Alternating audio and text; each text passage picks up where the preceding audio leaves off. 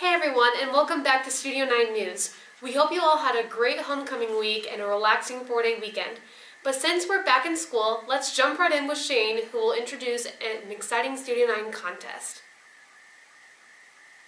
Shane here to announce the first annual Studio 9 Pumpkin Decorating Contest.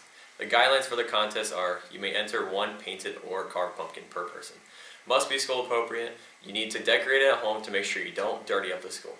Turn your pumpkin in by the 28th to Miss Hanson's room, and all students will vote for the winner on the 29th. You will be voting on the best overall design of the pumpkin.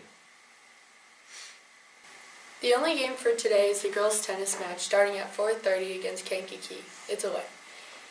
If you are a participant in this year's 2019-2020 basketball program, please be sure to see, uh, go to the shoe fitting after school on Wednesday at 2.30.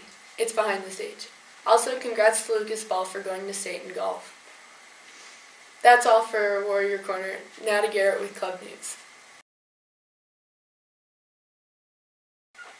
Thank you, Tegan.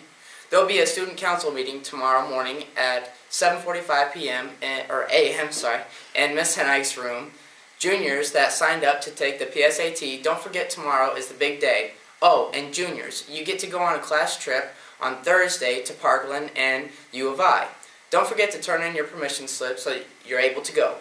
All students will be visiting the Tunnel to Tower exhibit with their English teacher on Friday. Friday, we will be using the Wednesday early dismissal schedule because it is the end of the first quarter. Now on to Megan to wrap things up. Thank you, Garrett. We have a couple of birthday shoutouts for this week going out to Natalie Peterson, Natalie Schroeder, Melody Lowry, Aislinn Gamino, Dakota Gamino, Lucas Ball, and Kaden Drew. Hope happy birthday to you all.